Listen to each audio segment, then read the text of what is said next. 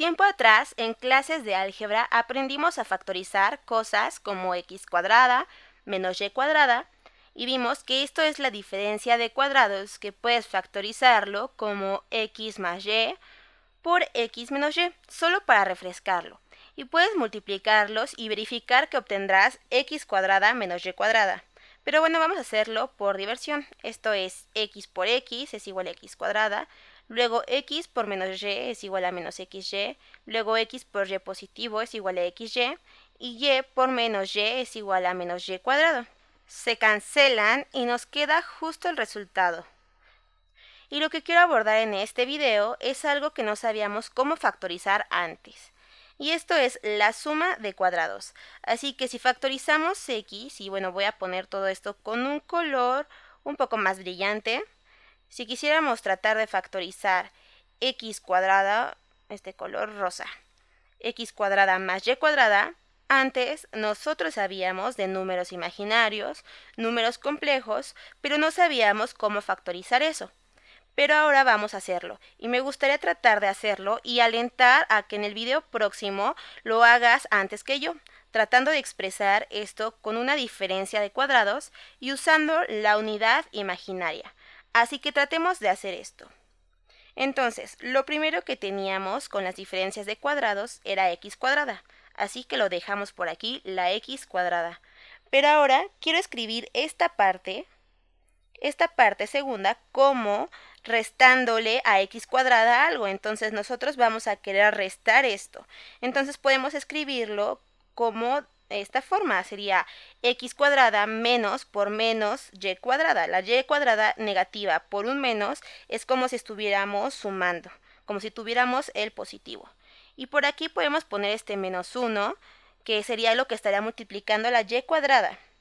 Ahora, ¿Cómo nos ayuda esto? Bien, pues esto es como estar restando con el menos 1, pero para escribir esto como y cuadrada, ya sabemos que por definición menos 1 es igual a y cuadrada, o y cuadrada igual a menos 1, así que reescribámoslo de esta forma.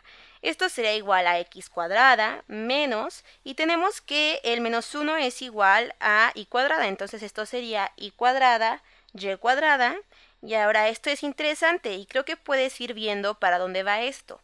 Pero bueno, esto lo hace un poco más explícito. Entonces ahora esto es x cuadrada menos, menos, y estos dos podemos elevar ambos al cuadrado. Entonces sería menos y por y y ambos al cuadrado. Y con estos usando la y estamos listos para escribir esta suma de cuadrados como una diferencia de cuadrados. Y ahora podemos factorizar y solo de la misma forma que factorizamos esta expresión original. Entonces, esto va a ser igual a x más esto de aquí, que sería y, x más y por x por x menos y,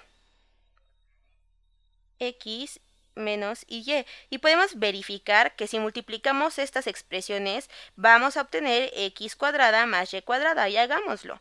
Entonces tenemos x por x, esto es igual a x cuadrada. Luego tenemos x por y por menos y, lo cual sería ixy menos ixy. Y luego tenemos más y por x, lo cual sería más ixy y finalmente tenemos y por menos y, lo cual sería menos y al cuadrado. Sería menos y cuadrada y cuadrada.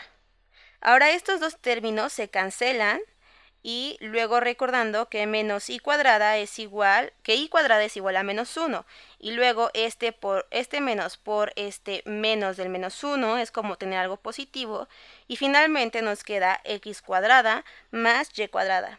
Así que espero que esto te dé una apreciación de usar la unidad imaginaria. Como de hecho podemos factorizar esta expresión, es esencialmente el producto de dos números complejos. Y finalmente tú lo puedes utilizar para algunas otras operaciones. Y listo, esta factorización nos da